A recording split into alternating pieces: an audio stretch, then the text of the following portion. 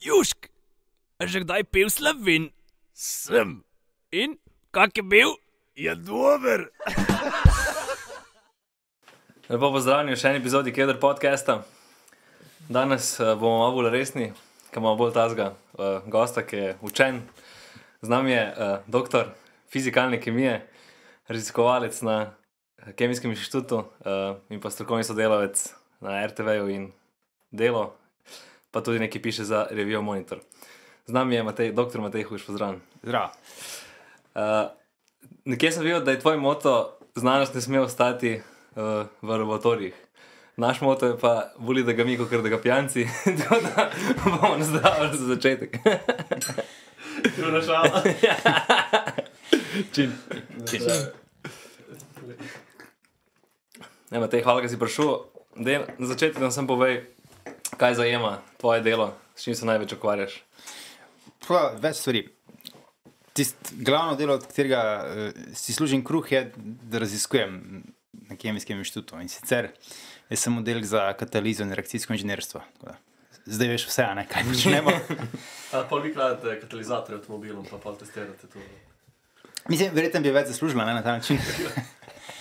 A, prav, jaz se pa ukvarjam z računskim delom tega, se pravi, delam simulacije, um, modeliram, skratka, sem na računalniku.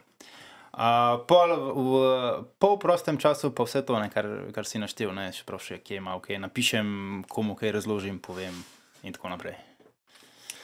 Um, zdaj, ko smo že pri katalizatorju, ne meso kot kralne. In uh, glik bral sem. Ni tvoja punca tudi tam na Kemijskem inštitutu? Ja, ok, ampak to zdaj ni pomembno. Ukrala. ne, uh, več hočem povedati, da sem tudi uh, si izdal knjigo od Kvarka do vesolja in sem prišel do poglavja o najdražjih elementih. In pa sem videl rodi pa paladi in pa sem se takoj spomnil na ta moj uh, incident, ko so mi ukradli uh, katalizator. pol je tako logično, ne, zakaj se ti ukrade ta katalizator. Tako je. Ja, se tudi, a veš, malo, mi delamo kakšne eksperimente. No, teori, eh, eksperimentalci imajo vem, zlate katalizatorje, pa platinaste, pa paladijeve. a ne. In To je ful drago. Ne. Pa je bolj, da grejo k vam ukraditi, kot pod avto. Ja, ne, če bi uspel not priti. a ne. Ampak teoretično, če smo že tako pri teoriji. Ma, ja, so to majhne količine, veš. To, Aha, to, okej. to, to, tako mikrogrami in to. Kaj pa tukaj cena, veš, na rodja, na Erodi je Na še dražji od zlata, ne? Zlato je koliko je zdaj, mislim, da je nekih- 45. Ja, ne, se pravi, Ne, se tudi ful nihajo. ne, saj, a Veš, verjetno ta članek, ki je zbral v knjigi o najdražjih elementih, če bi ga pisal danes, bi bile pa malo drugačne cifre. Ker imaš elemente, ki so recimo sam industrijsko pomembni, ne?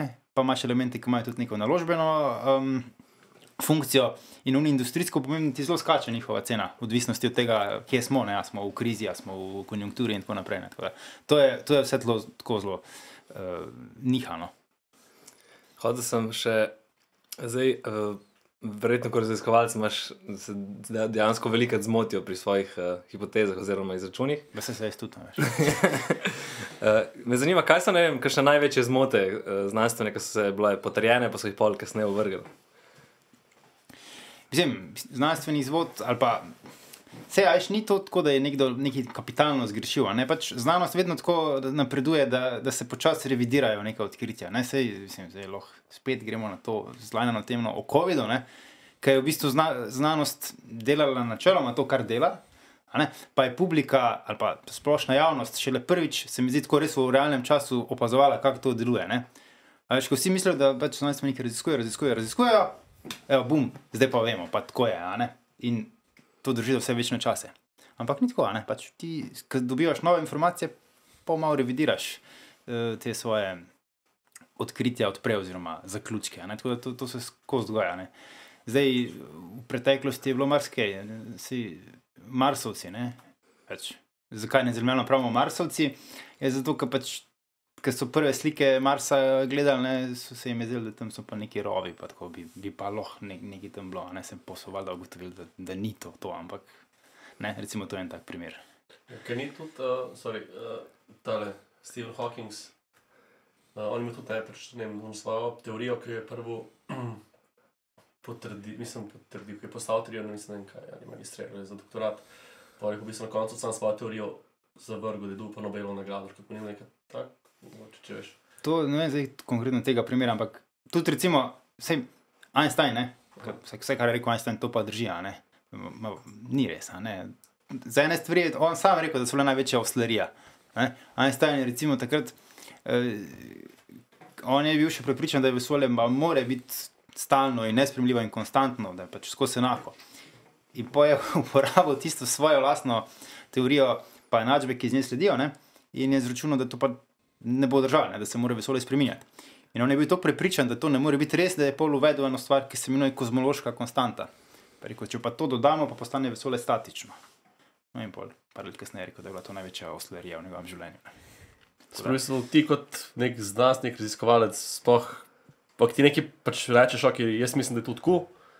In pa ti tako raziskuješ, ok, je res ali ni res, ne, sej tu je pač tak princip teh. Pod nekimi hipotez. pogoji, verjetno. Ja, princip, ne, si pač vedno napišeš, kaj smo predpostavili, kako smo se lotili nekega problema, kva smo videli in potem kaj iz tega sklepamo in zakaj. Ne. Pa pa pride nekdo, ki je pametnejši, pa mogoče ugotovi, da ni čisto tako. Kaj pa ta, kakšno, ne vem, če je kakšen update, nisem zdaj sledil, zdaj, kaj se dogaja s tem uh, teleskopom James uh, Webba. So, kakšen, ni- nisem zasledil nekih novih člankov, če, če ti veš kaj več o updatih. Predvsem so uh, najpomembnejša novica je to, da deluje, ne? kar ni tako zelo samoumevno, ker če ti pošlješ nekaj tako kompleksnega, tako davčne. Ker Pri, pri teh teleskopih, ne, pri Webu je bil glavni izziv to, da se bo prav razpel. Ker ti ne moreš ga v tej obliki, kot ga tam rabiš, poslati v vesolje, ne ga moraš nekako zložiti. In zdaj, da se bo ti bojo uni milijon unih delčkov pravilno postavila, ne, to ni tako samoumevno, da bo šlo. No, in so vse. Ne, to. In zdaj, kot jaz vem, eh, so ga skalibrirali a ne, a, in, in zdaj snema. Ne, pa, en- koliko je bilo nekih ful nekih korakov, so mogli, ne, ali 30 ali 300 korakov, da se je vse to razprlo. Pa, Ja, ja, pa trajalo je to, ne vem, koliko- več kot meseca. Ne, da, da se, ker, ker so se morali zelo počasi. Tam sem bral, da so bile v neki hitrosti neki ne, milimetri na dan ali nekaj tako, ne, zelo, zelo malo. Wow, zanimivo. Kje se pa to tvoje delo, ki ga upravljaš, pokaže oziroma uporablja vsak, v nekem vsakdanjem življenju, pač za nekoga neukega? To tvoje delo, ki ga upravljaš. Ne? Ja. Se pravi, kaj je kataliza? Ne? In to me sprašuješ, Ja, ne? kaj pač je kataliza? to in tvoje delo, kako se v nekem vsakdanjem življenju uporablja. Ja, recimo, um, mi se ukvarjamo s kemijskimi reakcijami, ki se delajo v industriji in sicer to so ponovadi male molekule, ali pa recimo vem, amonijak, CO2 in tako naprej. In glavno vprašanje je, ne kako boš naredil tega vem, 10 gramov, pa kako boš naredil tega 10 ton, ne, pač tako v industrijskem merilu. In recimo smo imeli neke projekte, ki smo se ukvarjali s tem, kako bi CO2 pretvorili v metanol. Ne? In potem končni rezultat tega projekta je neka tovarna, oziroma v eni termoelektrarni v, v Nemčiji, so postavili eno tako malo pilotno, uh, pilotno zadevo, en tak reaktor, ki dela metanol iz tega CO2. -ja. Pač to je pa pač gorivo. Recimo, to je bil en tak praktičen rezultat. To je to tega, ne. neko biogorivo, ki se zdaj hoče ali kako. Ja, pač poanta je tle, da ti, se pravi, če narediš iz CO2 gorivo, a ne pol, ki ga ti porabljaš, ne, ki ga v bistvu pač spet sežigaš, Krož. nazaj, si sam vrnil on CO2 nazaj v okolje. Ne, pa so to oglično neutralna goriva. Tako, ne. ne. Ampak, ne, nimaš z- zastonj kosila, ni. Seveda, da ti narediš iz CO2 neko gorivo, rabiš pa vodik, ponavadi, ne, pa energijo. In zdaj moraš to dobiti na nek zelen način, drugače nisi naredil nič. Kar je pa izziv. Ja, čeprav veš, ne, ni več tako zelo. a Ne? Nemci so nam montirali cel kup eh, sončnih in vetrnih elektrarn. Ne? In oni imajo poleti, recimo, čez dan dejansko presežke eh, električne energije. Ne? In se pa kaj lahko z elektrolizo dobiva vodik. E, točno to je. Ne, to je recimo ena od možnosti. Uh, pol, kaj, recimo, za največje preboje znanstvene v zadnjem času, pol, recimo, ti jemliš ta teleskop, ki so poslali, ali še kakšen primer. Ta teleskop eh, se mi zdi kar tako res znanstveni ali pa inženirski preboj. Ne? Pa tudi ta um, ameriški poskus fuzije, ne, ki je bil dokaj uspešen lani, ki jim je za en kratek čas uspel v fuzijskem reaktorju dobiti več energije, kot so jo vložili. Ne? To sicer velja z zelo veliko pombami, ker ja, konkretno za ta mali primer, ja, ampak če pa po, ti pomisliš za cel pogon, ki to vse vzdržuje, je pa še vedno poraba energije večja, kot so uh, jo pridobili. Ampak uh, je pa to, mislim, da največji korak proti fuziji, ki je bil v zadnjih letih narejen. Uh, kaj pa je uh, sploh princip fuzije, ok, pač pri jedrskih uh, teh reaktorjih ali pač teh um, elektrarnah, se pravi tam, ko gre za zon, pač uh, razbijaš na razen te Ja. atome in pač je stranski produkt, pač ok, nek element, uh, ki je pač osiromašen, najbrž kaj je od elektronov kaj. Uh, no, ki nekih ja. je pač osiromašen, nek pač nov tale uh, material, mislim, nek element, plus pač energija, ki se pač sprošča ob tem. Uh, Pri fuziji pa bi ti skupaj, pač, Je pa obratno, ja. ja, sem kako tu zgleda, Ti- recimo. Je ti hočeš, se pravi, pri fuziji imaš pa ti lažje elemente. Ne? Pri, pri fis- fisiji, ne? pri jedrskih teh klasičnih, imaš ne vem, pač težje elemente, uran in podobno, uh, ki jih cepiš, ne? v lažje. Pri fuziji imaš pa ti zelo lahke elemente, recimo tak, ne, imaš uh, ne, vodik ali pa helij in podobno. Ne? In jih v bistvu probaš dobesedno zliti skupaj, se pravi, da se ti dve jedri združita v eno teže jedro. Ne? In zakaj to deluje? Zato, ker obstaja ena stvar, ki se imenuje masni defekt. In sicer, če bi ti seštevil maso tega novega elementa, ki je nastal, pa pogledal maso elementov, iz katerih je on nastal, ugotoviš, da ni čisto isto. Da je malo manjša. Ne. In ta razlika, energi- ta razlika v masi je šla v energijo, in ki jo pač dobiš blazno velika. Ne. Sem zdaj, kako pa dobiš ta dva elementa skupaj? Kaj z veliko hitrostjo jih skupaj prebiješ, ali je kak. Uh, vis, rabiš visoke, visoke temperature, pač, to je ključno. a ne. Zato, ker načeloma se atomi med seboj, um, oziroma jedra, se odbijajo. Ne? Zato, ker so jedra pozitivno nabita in pač elektrostatika ti jih eh, odbija. ne. Uh, ker pri takih visokih temperaturah itak imaš samo jedra, ne v elektroni odfrčijo. Če pa ti uspeš to res zelo, zelo, zelo segret, ne, da so dosti hitri, se pa lahko zgodi, da se potem tudi uh, da premagajo ta odboj. Ne, in, se, in če pa pridejo dosti blizu skupaj, se pa zlijejo. Ne. In zdaj v naravi pač to v zvezdah deluje brez težav, ne, ker tam imaš dosti visoko temperaturo in gostoto in se pač oni zlivajo naravno. Zdaj na Zemlji to pa ustvariti pa problem. Ne. Kaj pa je s temi jedri? Pač to se morata dva enako velika jedra združiti, ali pa če lahko en večji, en manjši, lahko en se že združil, pa pol še enega daš zraven, ali kako je to. Ne, pač te reakcije, mislim, vedno ti teče ista reakcija. Ne, se, primer, recimo, ne vem, se ti zliva jedro uh, vodika, pa uh, deuterija ali pa pač tricija ali pa kakorkoli. Um, in ti pol nastane novo jedro in, in se to ponavlja. Kam pa gre to novo jedro, pa se še enkrat lahko to novo jedro z drugim. V zvezdah. Ne, pač ko je za res, ne, tle, pri nas pa pač ne. Se ti pa zgodi enkrat ta reakcija in potem rabiš nove. Jaz sem si to predstavljal kot no igrica, veš, kaj imaš 1024, kaj imaš dva, pa združuješ, pa imaš pol 8, pa 8, pa 16, pa 16. Ja, to si si predstavljal, kako zvezde funkcionirajo. Ne? Tle na Zemlji se nas pa zanima samo prvi, prvi korak, samo Kaj- 2 plus 2 je 4. Kam gre pa pol ostanek, mislim, ta, verjetno ta jedro, ki nastane, kam gre to? Pač to ga v okolje spustiš, ker ne nastane nič nevarnega. Ne? To, tle se mi pogovarjamo o elementih, kot so vodik, helij in, in podobni. To so Ampak koliko tega potrebuješ, da dejansko lahko proizvajaš neki, neko energijo s fuzijo? E, par gramov v, v celem reaktorju, pač mal. a ne. Tok mal. Ja. In je to dosti za, ne vem, tako kot zdaj, pač ta v jedrski elektrarni, ki je čisto majhen košček. Po- Podobna logika je. Ja. Za koliko časa so imeli ta presežek energije? Mislim? Uh, zdaj, točnih eh, številk se res ne spomnim, ampak uh, za mal časa, ne? kratek čas. Um, ampak po drugi strani, ne, uspeh je pa tudi to, da uspeš ti tako visoko temperaturo vzdrževati velik čas. a ne. Vsaka toliko časa beremo, da je recimo Kitajcem uspel na teh njihovih fuzijskih reaktorjih doseči ne vem, 10 ali pa 100 milijonov stopinj za par sekund ali pa minuto. Ne? In kakšen material Ne. pa zdrži tako temperaturo sploh? enoben. Ne? In, in zato je to tak dosežek, ker tebi to uspe sam, če ti uspeš zdržati, o, zadržati uh, te vroče elemente proč od materijala. ne. Z, Ja, ampak v čem jih magnet, pa zadržiš? z magnetnim poljem. Ker če se ti one začnejo zaletavati pač ob steno, pol, se tudi ohladi v resnici. Ne?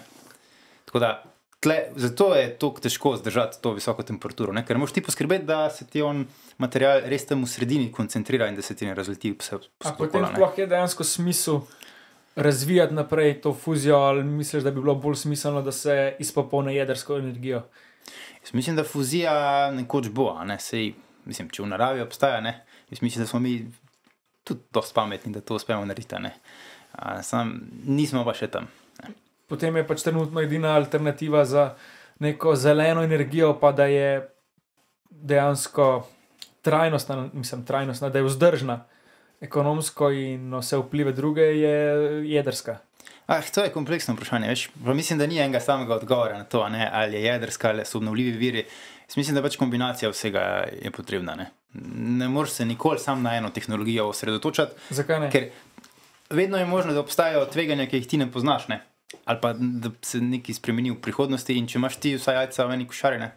Ampak iz ne vem, do zdaj znanih nekih podatkov ali pa dejstev je jedrska najbolj neka varna, čista, pa Recimo, problem jedrske kot take je pa tudi, da je izredno neodzivna na, na hitre spremembe. Ti ne moreš jedrske elektrarne čez noč ustaviti. čez noč ustaviti. Ja. Oziroma, če, če se ti porab, pojavijo neke špice v uporabi energije, ne, ne moreš reči, o bomo mi zdaj jedrsko malo, uh, malo na gas stopili, ne, pa bomo imeli čez eno uro pa 20% večji. Ja, se tudi pri veterni ne. pa še manj, pri sončni še manj. Ja, imaš pa pač druge variante, ne, imaš pa črpalne elektrarne, pol imaš, ne vem, Sorry, drugače v bistvu pri sončnih pa vetrnih je pač lahko to narediš. Ne. Kako? Sončno ja, izključiš, pač panel, polovico Ja, ja, ne ugasneš, Če pa rabaš več, pa ne moreš več dobiti, če ni več sonca ali pa če nimaš več panelov. pač odpreš, pač samo ne vem, delaš, se pravi, to je zmerno problem, oziroma pač un cilj, ki si, si omenil, pa če više gledaš, ne. Sproti ne vem, vidiš, ok, jaz ram samo polovico sončnih. In pa, ko vidiš, ok, ram še malo več, pržgeš, ne, še polovico. Sam tukaj je že mislim, veliko vprašanje, že na začetku sploh. Um, dejansko, kako prideš do tega, kako prideš do veternic, koliko materi materijala gre za veternice, koliko časa se veternice strošijo. Da. Uh, se jih recik, pač to so Ja, tako ja, ja, večje. ja, Ja, itak, celotna itak, itak, slika so- se mi zdi, če gledaš so- celotno jedrska taka od teh treh, da je najbolj nekako čista. Ja, ja, sem pač se pravi, kaj, ko se pogovarjam, ne pač. Te, jaz sem klasi, sem komentar, te pač premikne. Ne. Tudi, tudi ne vem, hidroelektrane, ja, pač ja, se lahko pustiš odprto na polno, da pač ti voda ven teče, pa pač da ti Ja. ja. poganja. Ne. Ampak ni to cilj.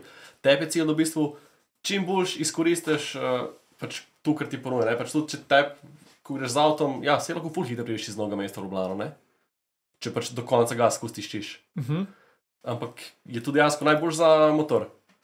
Včasih je. Ja, ampak da imaš ti skozi polne obrate, ni. Ne. Veš, in pa zmerno viš to Ampak se je pa čisto. zdravo sredino. vse. še zmeraj so na koncu dneva poraba energije, neke stvari, ki jih lahko predvidijo, ker so konstantne, ker pa so neke navade ljudi, kdaj se uporabljajo. Ja, se to se dela. Kot ne, to je bila isto fora, ki so v Angliji na različnih televizijah spremenili uh, reklame, med, ker so si vsi delali pauzo za čaj in pa so si zalaufali na čajnike in je bilo kar naenkrat primankljaj energije. Ja, sem se. Ja, in to dejansko zelo dobro napovedujejo. Ne?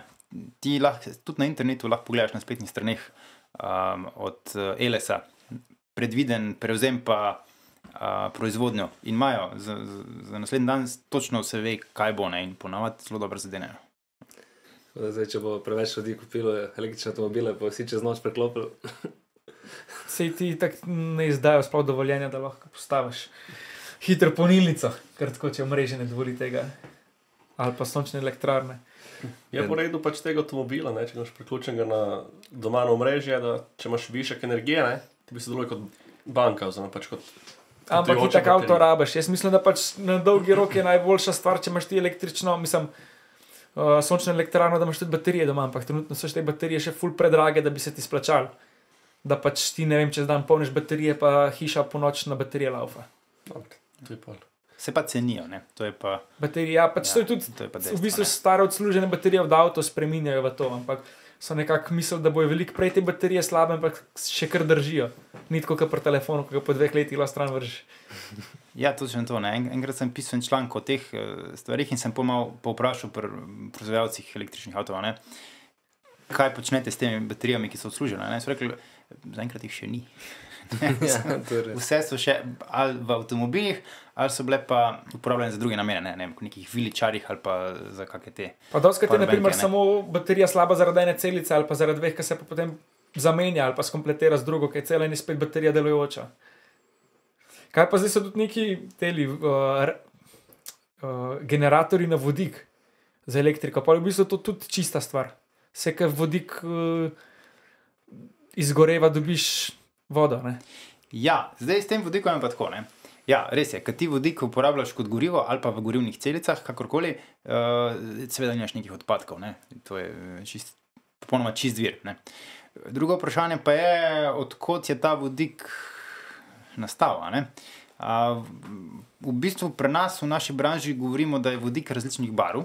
Ne? Imamo eh, črn vodik, rjav vodik, zelen vodik in tako naprej. Uh, zato, zato, ker s tem povemo uh, njegov vir. Ne? Namreč vodika ne moreš rudariti, ne moreš ga kopati, ne moreš ga zajemati, ne skratka, treba je narediti. In zdaj trenutno se še vedno večina vodika naredi iz fosilnih virov. Ne? In to je tako imenovan umazan vodik. Zdaj, če bi delali vodik recimo z elektrolizo vode, pa če bi bila elektrika, ki je to potrebna, pridobljena zeleno, pol je to v redu, ne? potem je to zelen vodik. Ne? Skratka, vodik je ja, na mestu uporabe že čist energent, ne? ampak če pa pogledaš cel krok, ne, je pa vprašanje, na kak način je ta vodik Ali nastal. ni ne. tudi nekaj tako, da vodik lahko nastane, če se kur plastiko pod neko posebno, mislim, pod visoko temperaturo, da tudi je nek stranski produkt vodi, vodik. Ja, samo zdaj plastika je pa spet drug problem. Ja, pač se ga odstranjuješ ta problem. Ja, S tem, tako da vodik dobiš. Ne, tako da tle. eh, No, in to je recimo s temi uh, obnovljivimi viri energije. Ne? Je tudi cel kup enih evropskih projektov na to temo, da se bi ta presežna električna energija, ki recimo nastaja iz presežnih kapacitet obnovljivih virov podnevi ali pa ko zelo piha, ne, da bi takrat ti zalaufal elektrolizerje in bi proizvajal Vodik. vodik, ne, iz vode. Ko pa imaš večjo porabo energije druge, jih lahko pa izklopiš, ne, brez nekih težav. Ne? Tako da v bistvu problem bi na ta način reševali na drugem koncu, ne, ne na proizvodni strani, ampak na strani porabe. Ne? In v resnici vse to ni tako zelo nova ideja. Ne? Saj ti imaš cel kup nekih velikih porabnikov električne energije, ki imajo tudi pogodbe in so na nek način tudi uh, rekel, namenjeni stabilizaciji omrežja. ne. Eh, In, in imajo recimo pogodbe določene, da pa je potreba večja, jih pa izklopijo. Ne? In tudi recimo v Sloveniji mislim, da je bil Talum, ne, tak primer, ker pač tiste njihove peči so imele tudi to funkcijo ne, uravnavanja omrežja. Ne. Skratka, to spet ni čist nova ideja. Ne. Da pa malo presekamo. Uh, uh, kako si kaj s teorijami zarote? Ja, kar dosti sem jih že slišal. Ne? v nekaterih sem bil tudi, mislim, da en izmed glavnih protagonistov. Naprimer, Ja, ne. Kot je bila ona teorija zarote o 5G, ne? tiste je bilo kar, kar zanimivo. Um, jaz ne vem, je bilo vedno tako veliko teh teorij. Um, Da vsak let so bolj neumni ljudje in je več teorij. Mislim, ne, bolj se širi ta medij in pol več ljudi. e, to, Ne, ne. Sem, eh, kako misliš, da bodo zdaj fejkali pristanek na Luni, ki ne bi šli nazaj američani? ja, a Enkrat bojo so že- Še ja, bolj, ne? kaj je 5G. Mislim, se pravi, hudo zdaj fejkali. Ne, Ja, zdaj z, pač, z, kamere so z, z. AI-jem, ne? A veš. Ja, ja. uh, nekaj se hoče reči za tole. Uh, Teorije zarote, ko smo se pogovarjali. Ja, da če je, je full, ne? če verjameš eni teoriji zarote, je pa avtomatsko eh, si bolj deležen, da ve- več jim verjameš. Ne? Zadnjič bral neke statistike. Uh, kaj pa enkrat, enkrat, enkrat sem bil stav, se pogovarjal z življenjem in to je bilo to. In si povedal eno uh, uh, fun fact o, o hrčkih. Kako je že bilo? O teoriji zarote si poslušal nek podcast, si rekel. Hrč, a tiska so hrčke, Ja. ja, ki sploh ni teorija zarote? Mislim, ja, survival mode. Survival mode. Ja, mislim, to, so, to, so, to je pa so dejansko raziskovali, ja, da, da hrčke so, mislim, da je bilo v 50-ih letih, eh, če jih primerno zamrzneš, ne, jih lahko pol tudi odtališ in hrčki so čisto Kot se Walt Disney ok. hotel. Ne? In, in takrat je bil to zelo tako boom, ne, in, in so potem bile visoko leteče ideje, da bojo pa zdaj, smo pa čist malo še oddaljeni od tega, da bomo pa tudi ljudi uspeli ne, zamrzniti, pa pol uživiti in tako naprej. Ne. No, ni se še to zgodilo, ne? Ampak pri hrčih jim je pa uspelo. Ja. A, in, in sicer z mikrovalovko so jih odtalili, ne? to je bilo takrat zanimivo dejstvo. Ne? Ne, vas si že nekaj rekel, da je bilo 2000 konc sveta, uh, da, so, da bi lahko na hrčkih preživel, ali kaj je že nekaj. A ja, točno, ja, to so si pa tudi. Uh, to so pa oni, uh, preperi, ne, in pravimo, ko so pripravljeni na vse, da imajo v kleti. ne. Doomsday preperi. Tako, ne, tako ker mi tule v zidanci ne imajo oni tam zaloge vsega živeža. Ne? Hub, hobuke hrane, pa orožja. Ja, in pa si je nek. eh, To je bilo takrat, eh, ja, pred letom 2000, ko so se bali, da bo ta uh, horošč milenijski naziv vse pahnil v, nazaj v tehnološki srednji vek. Ne? In, in so si izračunali. Ja, Po, po gre, gregorijanskem koledarju. ne. Bo- Ja. da, če, če ima v tej kleti, eh, mislim, da je 300 hrčkov okrog, da oni se dosti hitro razmnožujejo in živijo, da pa imaš pa neomejeno uh, količino oziroma vir mesa. Ne. Zdaj jaz ne vem, jaz nisem tega preveril, če to drži, ne, ampak Pa še kožo imaš, veš, da se lahko pač cunje se šiješ. Sam en hrček nima tudi za gostilniško mero mesa, ima 20 dek, 25 dek. ja, ampak če je pa 300, ne. ne. Nekdo je preračunal, pa največ kak rednek nekaj. Pač. E, v Ameriki je to bilo vse. Ja. ne. Zdaj, tam imajo tako radi te različne teorije. pa to. Ne znam, sem le gledal, kako se te dom zdaj prepari, ki so si ne vem, so nek praznik. Sem praznik, ni dela prav zdaj, bil v, v Ameriki. No, oni so Akcija se odločili, zjutraj, ne, ne. oni so se pa zjutraj odločili, da bojo potrenirali, kako hitro so iz mesta, če se zgodi IMP napad ali kaj IMT.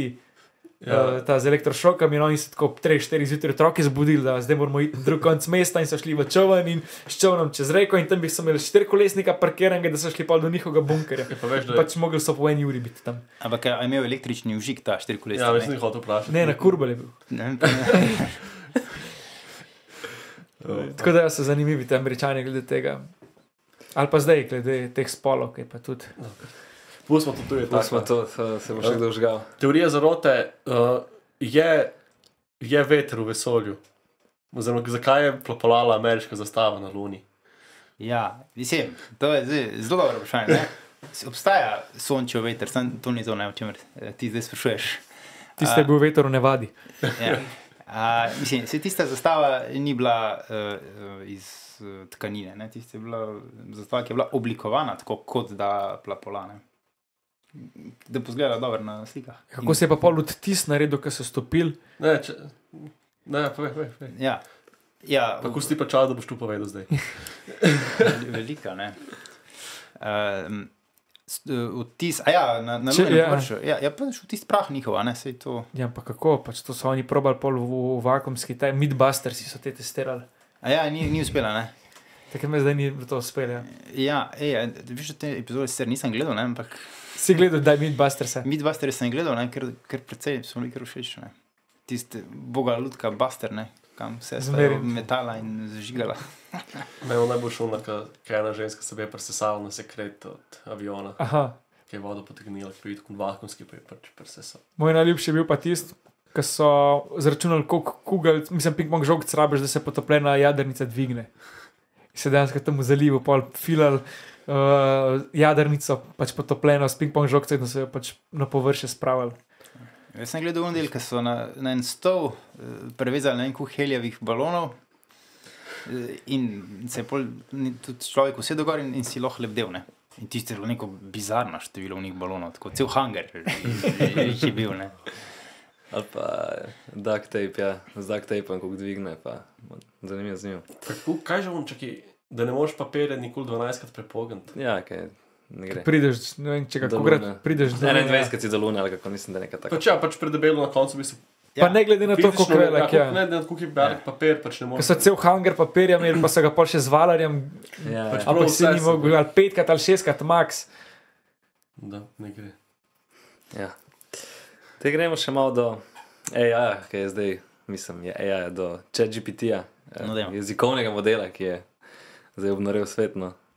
Um, mislim, se tu ni nič nogo v bistvu, ne, sem pač je. Pa ni več edini. a ne? Zdaj že Google hoče tudi implementirati. Ja, eh, Microsoft je Bingu dodal. Kdo sploh funkcijo Bing uporablja? pogovarja. Ej, točno to ne. Veš, kdo? On, ki mora Google eh, downloadati. Pa Prej naštimaš, pri zadnji iskanju. Ne, pač v vsakem primeru pravi Google z downloadom, ki pa Bing uporablja. Jaz sem pač veš, da ne moreš pač prvo Edge odpreti, da pač lahko upal downloadaš. Ampak kaj še, Bing chat je dejansko kar. Po mojem, bo kar povzročil neke spremembe. No? Je, deluje dobro. Je, je, to je chat GPT, ki ima povezavo z internetom. Ne? Pa je to v bistvu vse imaš. Ja. Ne. Zdaj, Google je še tega svojega eh, barda izdal, sem se tudi upisal na čakalno vrsto in sem, mislim, prejšnji teden sem dobil dostop do njega, sem ga malo sprobil. To je zaradi tega, ker si prej DR napisal. V, Ne, v, v zato-. Ne, zato ker sem se prek eh, VPN-ja in ameriškega IP-ja prijavil, ne, ker je v meni Ameriko in uh, mislim, da Veliko Britanijo. Resno? Ja, zaenkrat. tam. In uh, če imaš VPN nekam do nekega ameriškega strežnika, Te sprejme, ne? Imamo en brskalnik, v bistvu za stonski VPN noter, A. tako zbereš. no, ja, tako. Če se prijaviš, kak teden, dva traja in dobiš dostop. In kaj si kaj poskušal? Potem sem se pogovarjal z njim ne, in uh, Koliko krčko rabiš, da je, tale eh, chat eh, Bing, ne, Microsofta se res obnaša kot človek, ne, zato ker sem ga vprašal, kdo je slovenski predsednik. On mi je odgovoril, da je to Borod Pahor. Jaz sem mu napisal nazaj, da, da to pa ne bo držal. Mi je napisal nazaj, Čal, da se čal. ne bo več z mano pogovarjal. Da se, da se ne sramim in da, da ne bo nadaljeval tega pogovora. Potem nisem mogel več odpisati, pač je zaprl ta, to svojo sejo in sem mogel novo odpreti. Prav, v bistvu si rekel, da je neumen in se mu ter strmo. Rekel sem, da nima pojma. Ja, Ja, se- ja. Pa, pa je boljši kot ChatGPT v, v tem smislu. Ta, on ti samo napiše, da je jezikovni model in ti ne more odgovoriti na to vprašanje. Ne? Ja, če če ti se skozi upravičuje, ne? E, Ta, ta se pa nič ne upravičuje. Tukaj je svoj boj, ni gledal Andrew Tate.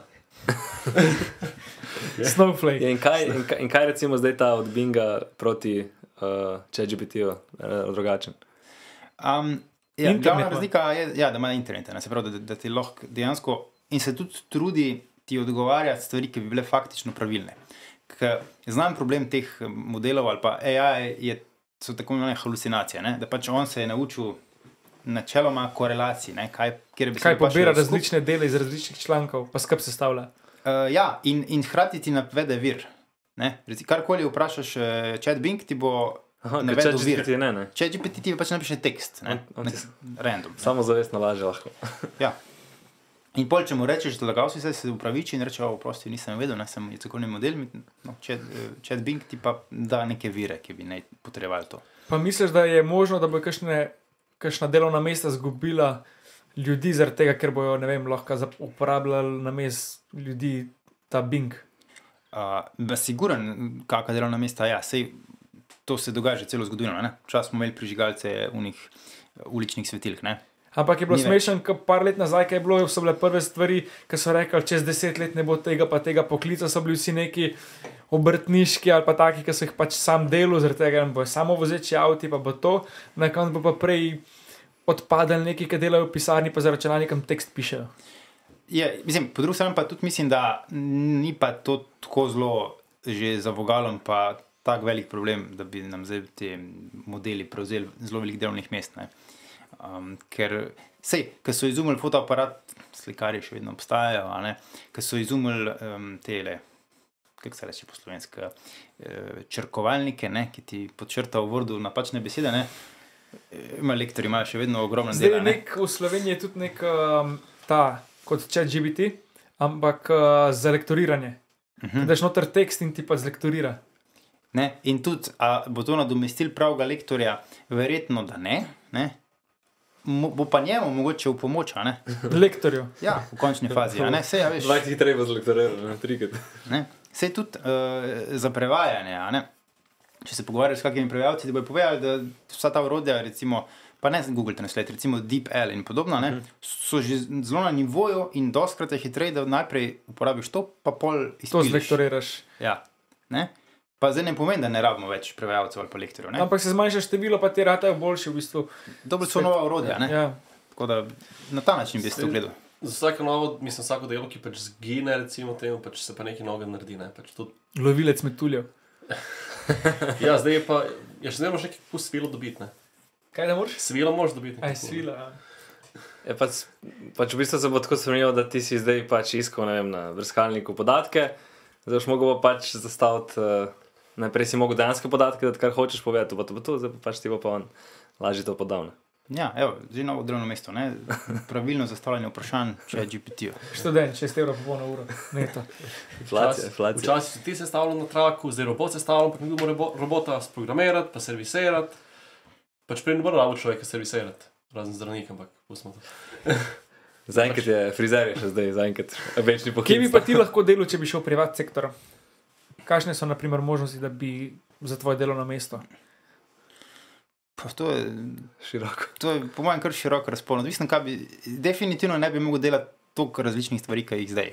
Ne, verjeten, to je dejstvo. Ampak pa, pa mislim, da je od se pravim, čist nek, nekih delovnih mest, kjer pišeš besedila, do ne vem, raziskav, ne se v Sloveniji kemijska industrija zelo močna. Ne. Tada, mislim, da je. Bi imel tudi, tudi veliko dela v zasebnem polu. Ja, in tudi najlepše to vidim po študentih na našem oddelku. Praktično noben od njih ni brez službe. ampak prav- Si imaš štipendijo od Leka pod Krke. Obraten problem je, ja, ne, mi bi pa vendarle želeli, da kdo pa ostane.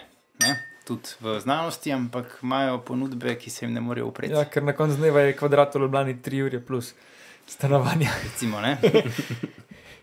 Um, šel v fač lahko naredil, ne vem, tabletko, ki naj bi mačka zjutraj.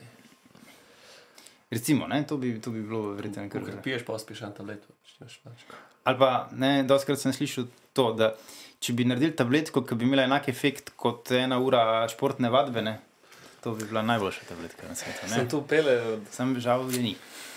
pele v zaton, ne? če bi pol bi vsi ljudje pi- pijani čez dan, pa Vsi bi sem bil tablete. pol bi kaj. Vsi bili dobre vole, ki bili. Ja, ampak tudi manj bi se naredilo, oziroma slabše. Vse imaš robote, vse oni delajo. Ja, nismo še tam. Pa če, če GBT.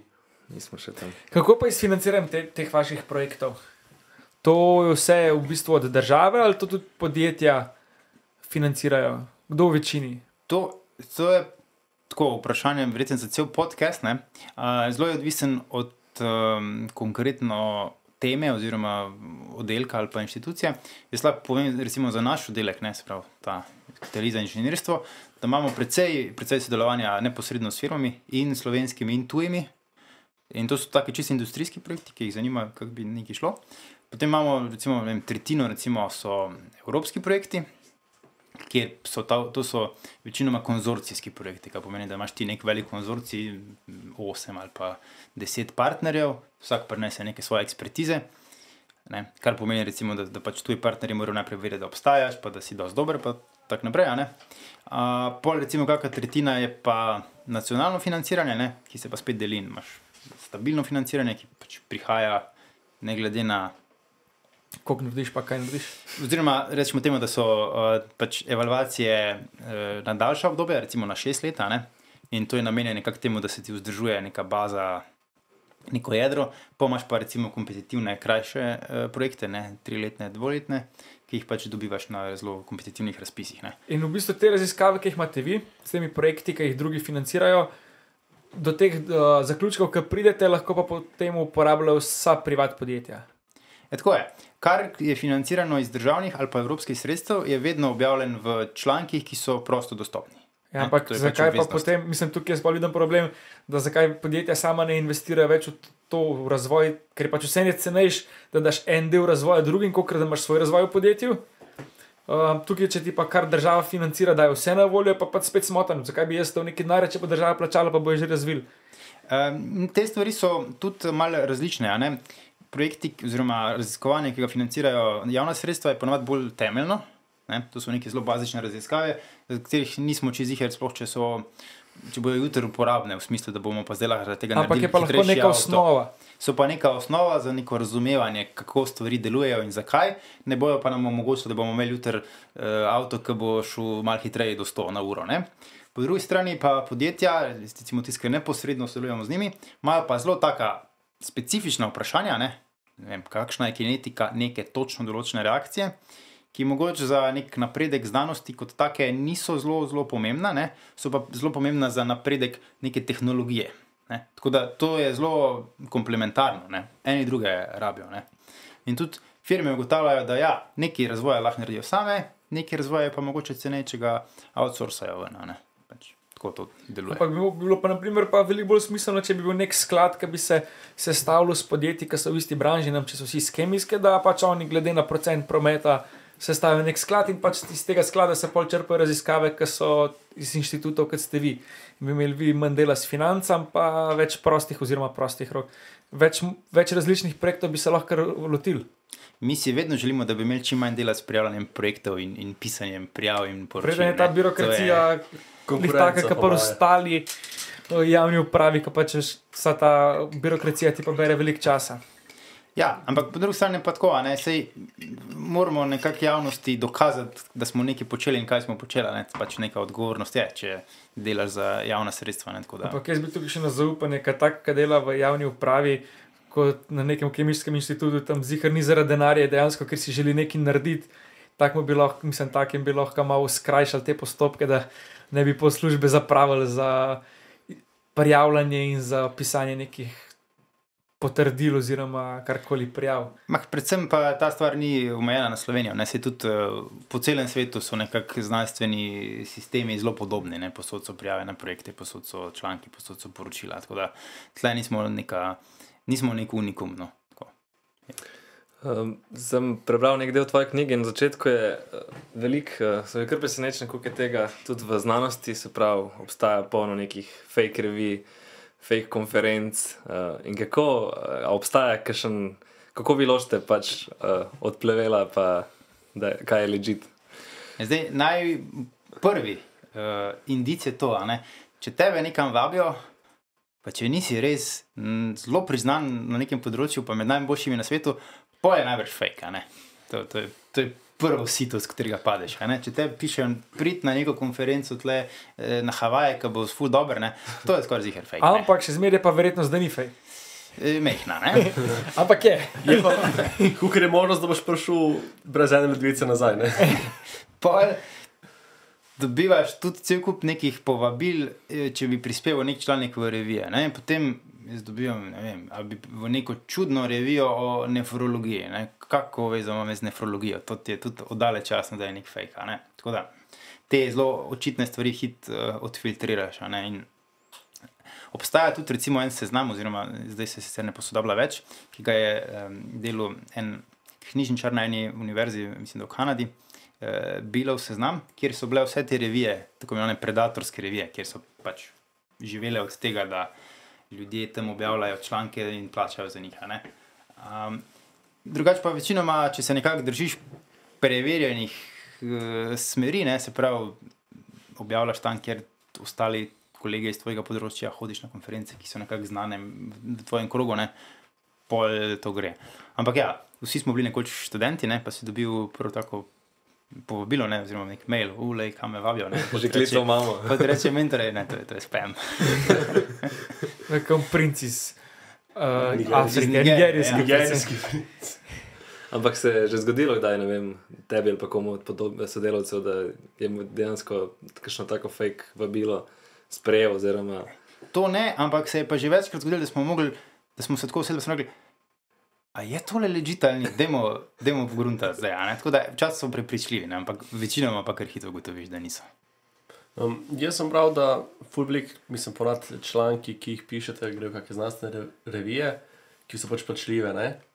Uh, ampak da če pa ponad, ne vem, kontaktiraš direkt uh, sprav avtorja, da ti pa pač lahko pošlje brezplačno ta njegov članek. Tu je res, ali mislim, ne bom rekel, da te mora kontaktirati, ne, ker ti si napisal knjigo s vsemi svojimi članki, tako da ne kupijo. A, Ampak tako. ne moreš kupiti. ne, ok. Zdaj, prva stvar je to. V, tej knjigi niso znanstveni članki, to so pač bili poljudni članki, ki so bili objavljeni v ne delu, monitorju in tako naprej. Ne? Tako da, A v Lady še nisi bil. To, ne, še. Ne, to, to, je, to je tako, pač, uh, za uh, splošno javnost. Zdaj, kar se tiče pa znanstvenih člankov, ne, o katerih me ti sprašuješ, pa ja. Uh, Nekako sta dva modela objavljena. Eden je, da so revije torej, uh, naročniške, kar pomeni, da so vsi članki zaklenjeni in mora tvoja inštitucija bodi si naročati to revijo, kar stane precej. Ne. Bodi si pa pač ti kupiš ta konkreten članek ne, in, in ti ga bolj pošljajo. V takih revijah je objava brezplačna za avtore članka. Ne. Druga vrsta revij so pa revije, ki so odprte, kar pomeni, da lahko vsi za ston berejo, ampak v tem primeru mora pa avtor plačati za to, da je njegov članek objavljen. In to se pogovarjamo o zneskih, ki so par tisoč evrov ne, na, na članek. To je pa plačano glas. Na nek način. Ne. Ja, ali ti plačaš, da te objavijo, ali pa morajo oni plačati, da berejo. To je kot da bi zdaj influencerji plačali Instagramu, da, da lahko gor, kako oni prodajajo pečico. Ja. Ne, in, um, še, ta, ta sistem je na nek način malo nenavaden, ne, ker čl, tudi članek, za katerega ti plačaš, da je objavljen, ne, ta članek gre še vedno čez recenzentski postopek ne, in, in ni rečen, da bo objavljen, ne, lahko je zavrnjen. Pa si plačal? Dober, ne. Mislim, takrat, če nisi plačal, Aha, plačaš okay. polka je sprejet. Ne. Ampak pravim, da ni, da ni samo omenil, da so članki v plačljivih revijah slabi. Ne. Ena najboljših revij, oziroma zelo dobra revija je Nature Communications, ne, ki je pač ena od sestrskih revij iz družine Nature, je plačljiva. Ne. Pa se vsi strinjamo, da kdo objavi v Nature Communications, je dober, ne, zelo dober. Je pa res, da obstaja pa še ena tretja skupina lažnih revij, ne, ki pa samo hočejo zaslužiti. Ne, to so pa neke revije dobljiv- dvomljivega slovesa, ki pač jim je interes, da ti plačaš par tisoč, pa je objavljen vse. Kako so pa rangirane te revije? Kakšna je neka lestvica obstaja vredno? Ja, ne, to je ta boleča točka. Ja. Obstaja lestvica, oziroma vsaka revija ima eno uh, metriko, ki se imenuje faktor vpliva, ki ti pove, kako pogosto so članki iz te revije citirani. Um, ne, drugot ali pa v isti reviji. Skratka, citiranost merijo. In potem se revije znotraj področja primerjajo po teh faktorjih vpliva. Ne, se pravi, v reviji, v kateri so članki bolje citirani, je nekako boljše objaviti. Ne? In to je metrika za revije. Ne? Pa je pa to izrodilo to, da ljudje pa ocenjujejo posamezne članke po tem, kje je bil objavljen. Ne? In jaz to skrat rečem, da to je približno tako, kot če bi ti prodajal svojo hišo. Ne? In je sploh ne bi prišel iz pogleda, ampak bi sam rekel, kje je. Ta je v Salamonu, v glasniku, Ne. taj karana. V katerem, beci, ne, v katerem A je becirku tako? je, a veš, a je, a je na Rudniku, a je na Viču, -huh. ali je v Šiški, in, in bi me samo to zanimalo. Ne. Tako trenutno deluje ta sistem. Ne. Kar pa spet ni fair.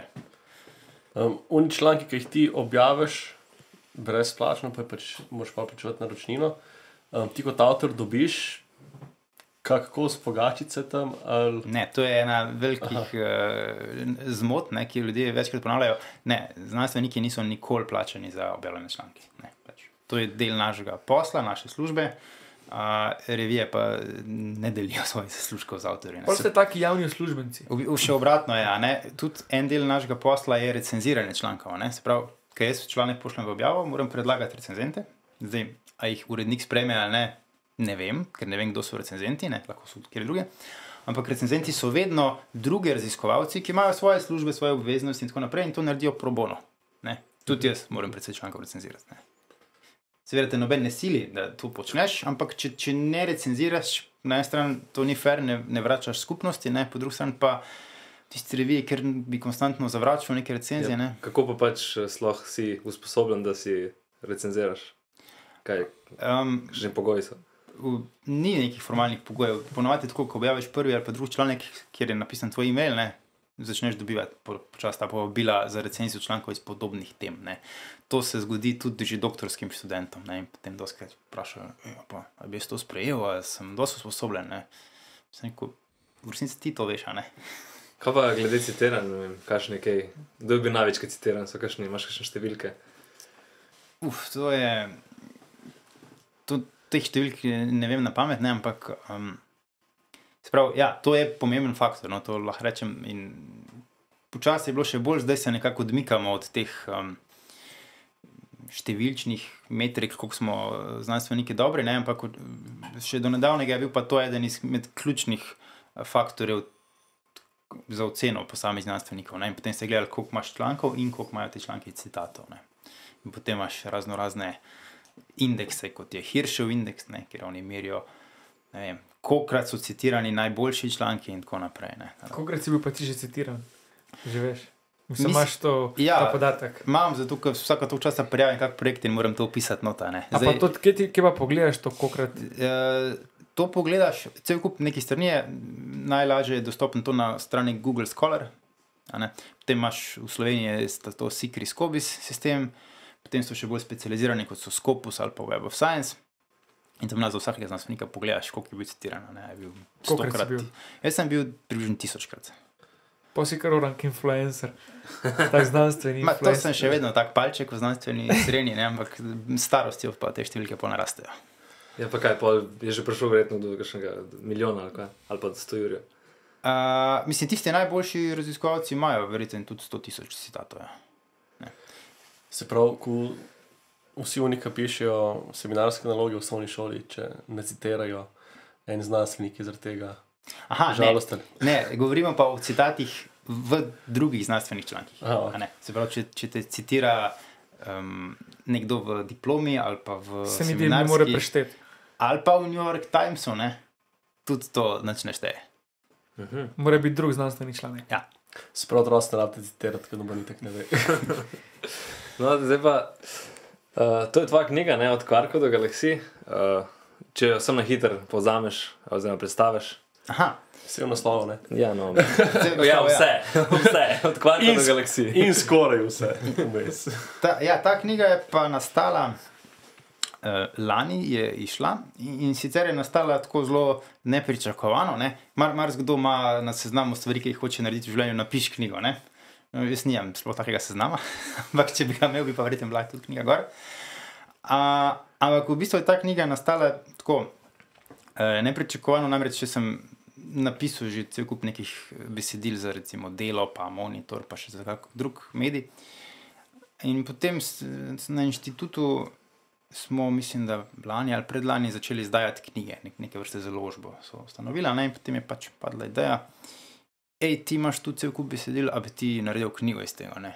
In jaz sem seveda naivno rekel, ja, ni problema, ne? bomo zrihtali. ne." Ker meni se je zdelo to zelo enostavno, ne? teksti so, Dobro, da si vse, vse sploh shranjeval. skupaj jih zložimo, ja, ne, to bi bilo sploh slabo. A, ampak pol ugotoviš, ne, da seveda tekst, iz, ki je bil objavljen v nekem časopisu ali pa reviji, ne more iti dobesedno v knjigo, ne, treba ga je popraviti. A, Od takih čist osnovnih stvari, kot je, da pred dvema letoma napišeš leta 2019 ali pa pač kdaj je to bilo, ne.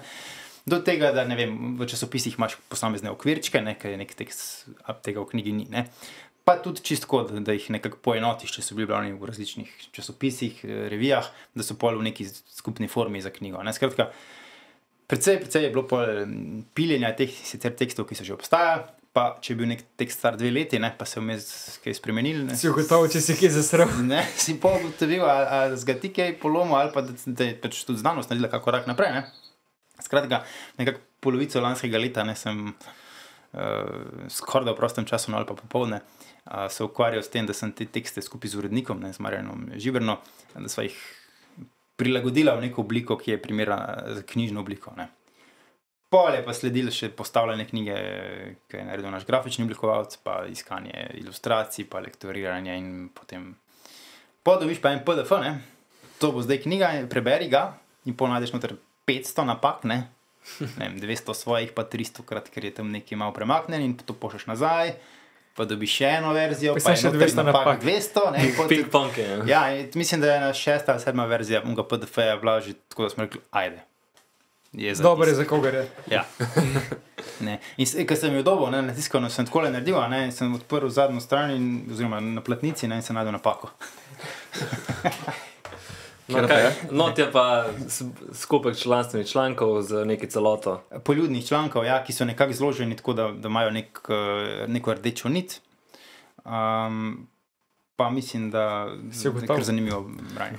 Ne, kje je napaka? Ha, Tam, eh, sprav oblikovalska napaka je. Ni, ni zdaj slovenčna, ampak tam smo malo neki. Ok, pa bomo pustili vsakmu, da Ne. no, išče. Skratka, hočem reči, to je tako, kot ko odpreš svojo diplomo. Ne? Vedno je neki, pol, ne? tako da ne bereš več. Magar osebinsko narobe. Ja, no, zdaj bomo, uh, mi tako radi podeljujemo poslušalcem, kaj bomo zdaj eno poslušalcu, poslušalki podarili. Uh, bomo naredili en post na Instagramu. Um, vse, kar morajo narediti, je follow od Kyoto podcast, uh, subscribe se na YouTube. Imaš ti kakšno uh, socialno mreže, da te followajo ali pa tvoje delo, kjer lahko najdejo tvoje delo. Ej, edino socialno mrežo, ki ga imam, trenutno je LinkedIn. Zelo sem dolgočasen. Citirajte ga v znanstvenih člankih, da pridem, da pridem na dva Jurija. Ja, prosim, citirajte.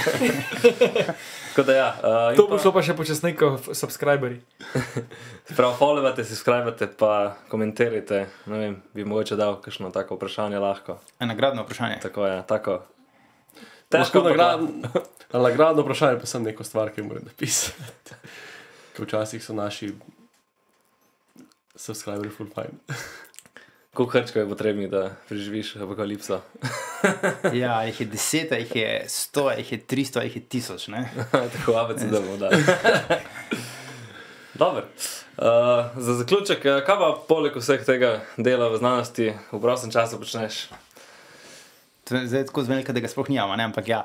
Um, jaz sem velik uh, fan tekanja na vse načine, ne? ker sem čas treniral atletiko in nekako mi je to ostalo. Da Tekam, včasih v prostem času, včasih tudi zjutraj pred službo. ali pa se eh, klatim po hribih, ali pa kolesarim, a ne. To je nekako največ. Tak, Največ slo, slovenski časa. športi pa. Ja, ne, tak klasičen slovenski šport. Petek po bife do, jutra. Vsega zdravo razmeri, ravnovesje. Zato pa si športov, ne, da lahko pa v petek piješ. Imaš na zalogo. Enače, Matej, ful hvala, da si prišel v naš keder. E, z veseljem, ne, bilo je res dobro. No, pa na zdrave. Zdravje. Kaj pa darilo? A ja, uf, zmer pozabim, veš, da nam, zmer imamo od vsakega gosta ena darilce. A res? Res, res. Uh, imamo uh, en cviček, pa eno belo. Tako da, da boš lahko, uh, ko boš odtekel maraton, pa spil brez Dobro. slabe vesti. Dobra družba, dober vin. Tako. Odlično, najlepša hvala. No. Hvala tebi za obisk, pa se vidimo. Čau. Južk, sod te pušča. Južk.